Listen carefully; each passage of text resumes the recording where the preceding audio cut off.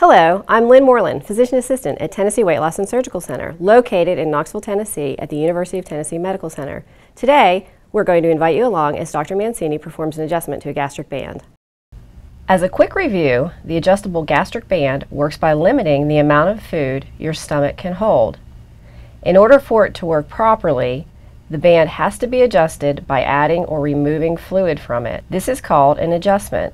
Adjustments tighten or loosen the band around your stomach. These adjustments are made by placing a needle through the skin and into the port which lies under the skin on the abdomen. Saline solution is then added or removed from the band through this port.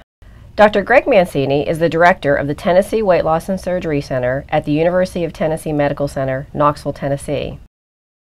When you arrive for your clinic visit, your physician will ask you a series of questions such as how long after you eat are you hungry again? Are there any foods that you cannot tolerate? How much weight have you lost since your last visit? These may be indications that your band needs to be adjusted. Here, Dr. Matthew Mancini is asking his patient how long it takes for her to be hungry following a meal. Once we determine an adjustment is needed, we have you lie down on the exam table. The equipment we use to perform your band adjustment includes a needle syringe to draw saline into the syringe, a larger needle to access the port and place the saline into the band, a betadine swab to sterilize the abdomen. Dr. Mancini will palpate your abdomen to find where the port is located. We will then swab the betadine over the port site on your abdomen.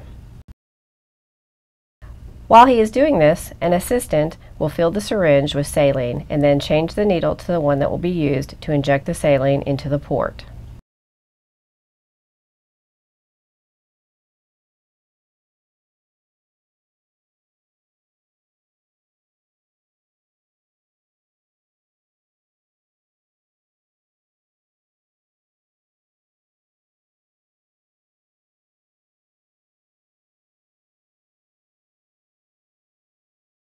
Dr. Mancini then carefully accesses the port with the needle.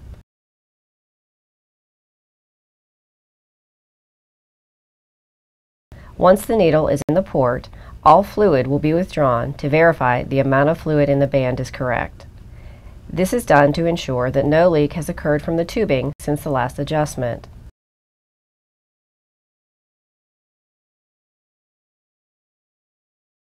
He will then replace the correct amount of fluid into the band.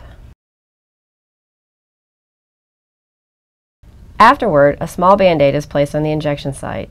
Then you will sit up and sip some water over a few minutes to make sure that the adjustment did not make the band too tight to swallow liquids.